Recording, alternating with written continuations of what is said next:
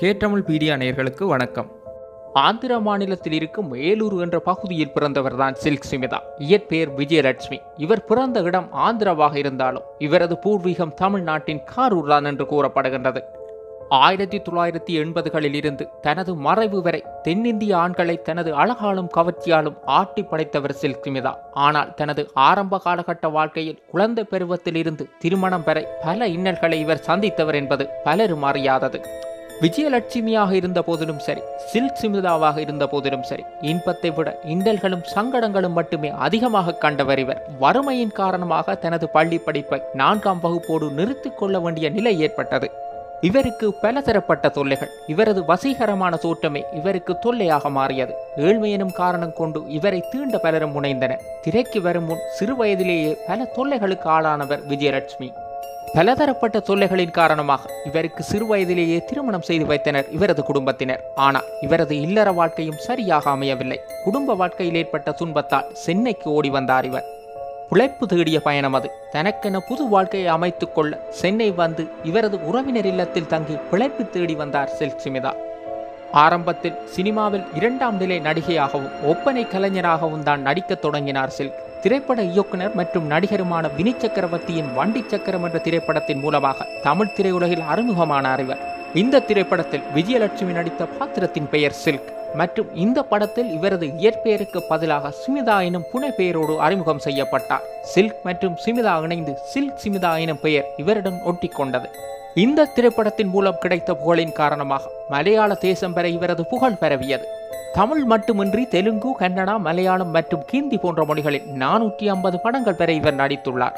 இளையராஜா பாடல்களுக்கு ஓடிய திரைப்படங்கள் தமிழில் நூற்றுக்கணக்காக உள்ளது. அதேபோல் ரஜினி கமல் போன்ற முன்னணி நடிகர்களின் நடிப்புக்கும் ஸ்டைலுக்கும் படங்கள் ஓடியது ஒரு காலம் என்றால் சில்க் சிமிதாவின் திறமையான நடனத்திற்கு படங்கள் ஓடியது என்பதையும் தமிழ் சினிமா மறுக்க முடியாது. திறமை இருந்தும் வண்டி சக்கரம் படத்தில் இவரேற்ற கதாபாத்திரத்தின் காரணமாக வேறு கதாபாத்திரங்களை இவரால் நடிக்க முடியாமல் போயின. ஆங்கிலம் மற்றும் நடனத்தை வினி சக்கரவர்த்தியின் மனைவி சில்குக்கு பயிற்றுவித்தார். அதே நேரத்தில் சில்க் வேறு ஒருவரிடமும் நடனம் கற்றுக்கொண்டார். இவரது கவர்ச்சியான நடனம் மக்கள் மத்தியில் பெரும் வரவேற்பை பெற்றது. ஆயிரத்தி தொள்ளாயிரத்தி எண்பதுகளில் இவரது நடனம் இடம்பெறாத படமே இல்லை என்பது போலத்தான் தமிழ் சினிமாவின் நிலை இருந்தது. ரஜினியிலிருந்து கடைசி கட்ட நடிகர் பெற அனைவரின் படங்களிலும் இவர் இடம்பெறும் ஒரு பாடலாவது இருக்கும்.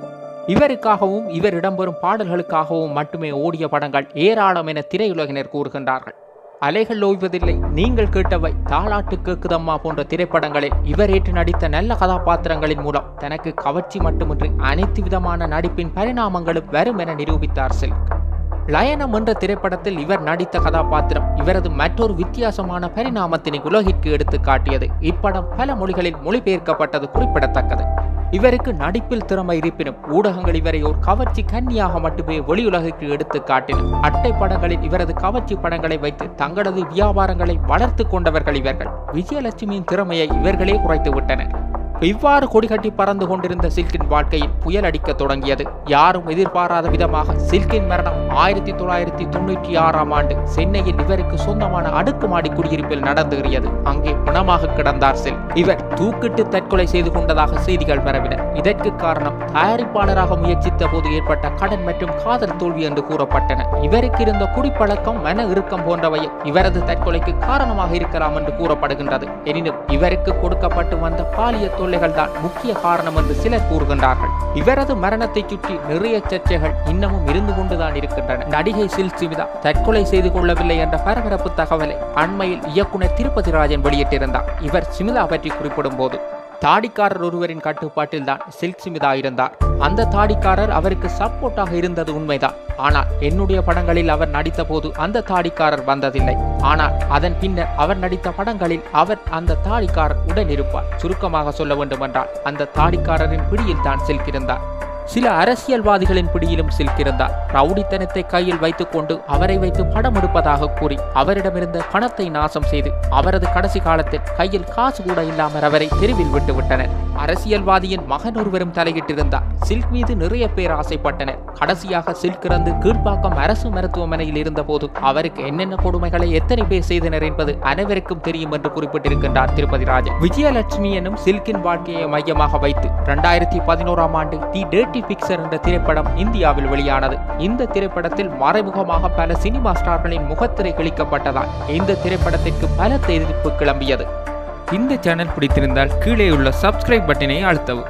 வீடியோக்களை உடனுக்குடன் பெற்றுக்கொள்ள அருகில் உள்ள பெல் பட்டனை அழுத்தவும்.